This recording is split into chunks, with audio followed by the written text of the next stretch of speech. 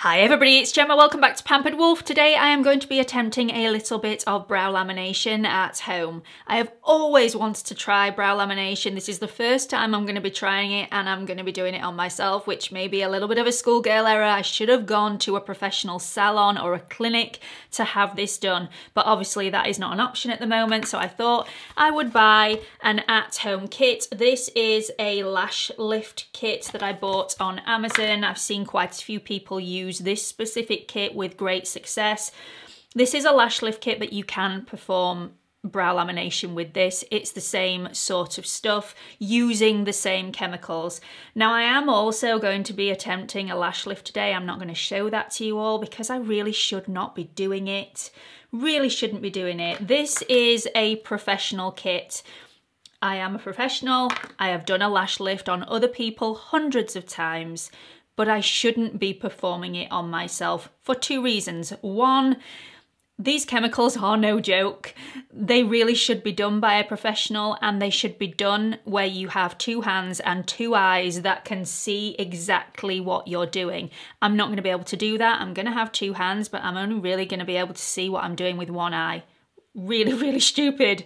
I really don't know why I'm doing it. Maybe I'm talking myself out of it. Maybe I shouldn't. Maybe I shouldn't. I'm going to anyway because I'm really bored. Another reason why I really shouldn't be doing this on myself is that you are supposed to remove your contact lenses whilst you're having this procedure because if any of the chemicals does get in your eyes for any freak moments you don't want that chemical to get underneath your contact lens and cause even more damage. You don't want to have to take your contact lens out before you wash your eye out. You need to do that seriously quickly. So uh, I am half blind without my contact lenses. So um, not only am I doing this on myself with one eye, I am also going to be half blind doing it, which probably is the most stupid thing I've ever done in my entire life. And um, having second thoughts. Anyway, I will show you the brow lamination. I'm not going to show you the lash lift because I don't want anybody to think under any certain terms that um, it's a good idea to do your own lash lift.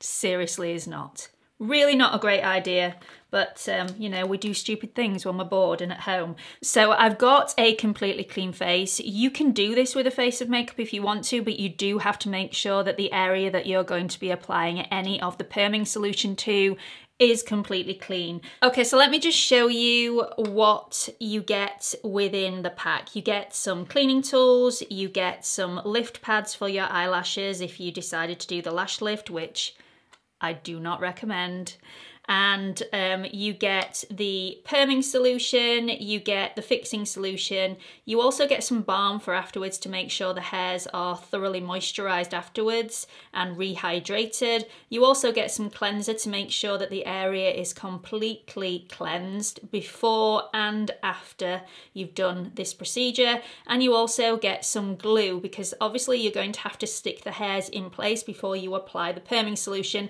And you've also got the lash lift tool, which looks like this, which is a really, really small little cotton bud or Q-tip to allow you to get the product on without spreading it all over your face. Okay, so just a little bit of information before I start. This is like any perm that you would do. So it's exactly the same as a perm that you would have done on your hair. And by the way, I am rather bitter about this because my mum would never allow me to have a perm when I was younger and all the cool kids in school were having perms that they had to use a whole can of hairspray first thing in the morning to set everything in place and they just looked so, so cool. And I was never allowed to do it with my hair. I had straight boring hair that was flat to my head. Just have a minute. Neglected as a child I was, completely overlooked. Anyway. Let's move on. This is like any perm that you would have, including the perm on your head. So if you were to perm your hair, which I still haven't done to this day because it just hurts too much, You cannot get it wet for over 24 hours or it diminishes the hold of the curl. That is exactly the same thing that would happen with this. If you are going to do a brow lamination, you cannot get the brows wet for a number of hours afterwards. Otherwise, the hold of the perm will just go down the toilet.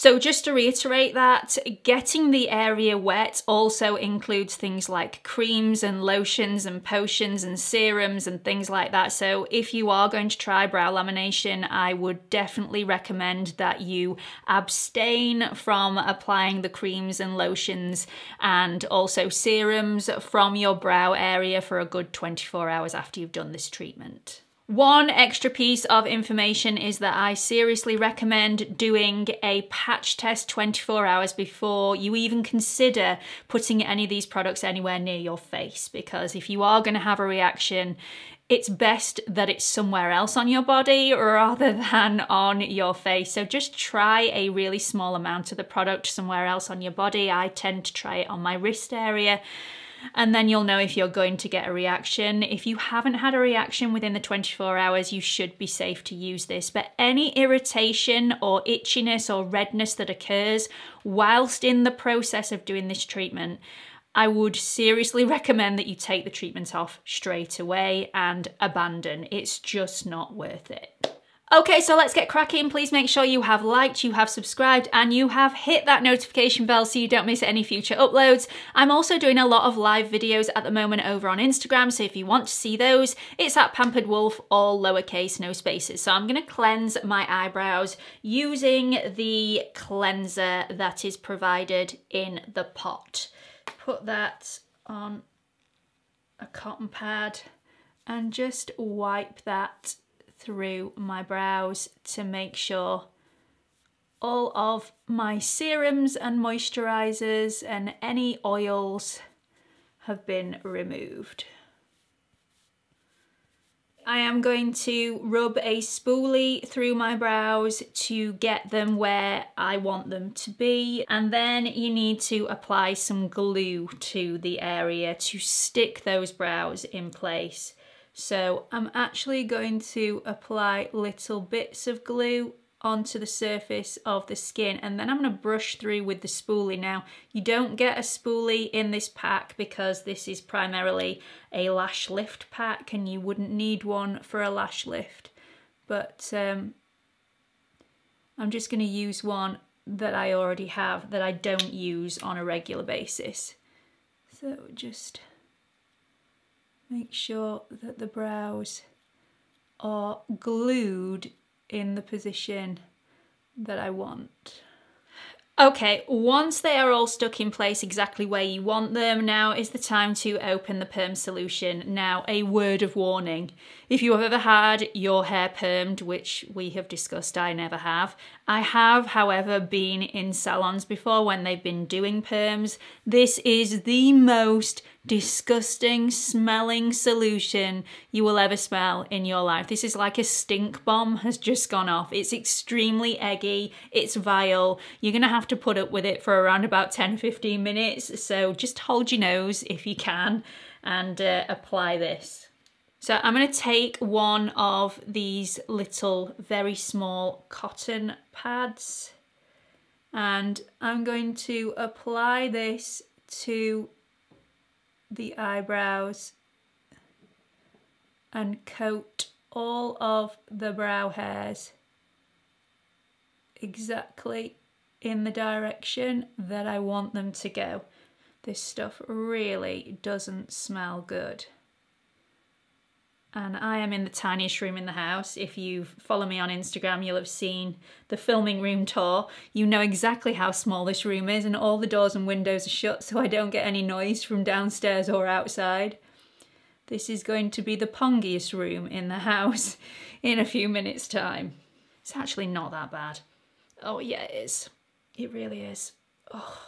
Okay, so all of the hairs are completely covered with the perming solution. So now I need to take my cling film or saran wrap, I think some people call it. Is that, is that really what they call it? I don't know. And I'm gonna take, oh, I've done far too much stuff. But uh, then I need to apply this to the eyebrows. Just make sure that's stuck down on them all and leave that. I look absolutely ridiculous. I need to leave that now for 10 to 12 minutes. So I'll be right back when the timer has dinged. Okay, so it's been the 12 minutes. I'm going to remove these from the bottom so not to disturb any of the hairs. And then it says to take one of the Y brushes, which was in the cleaning tool little box. And it looks like this. It's got a tiny little comb on one end and a flat bit on the other. So I'm just going to rub through and remove any of the perming solution onto the remover tool. And then I'm going to apply the fixing agent, which is the number two solution and is blue in colour. And I'm going to do that using a clean one of these tiny little applicator sticks. Just get another one out of the box. You get loads of these, by the way, in each box. Lots of these. Oh, hang on one minute. So you also get a little spoolie in here, which I didn't check. I thought they were all like this. I was wrong.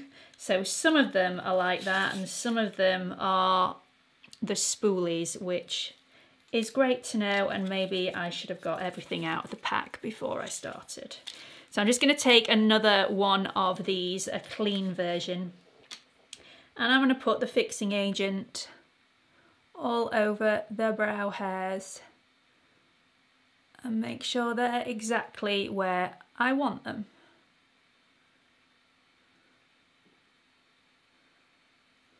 So once that's done, I'm just going to pop the lid back on the fixing solution and once again take some cling film. Try not to get as much this time. and place that over the brows.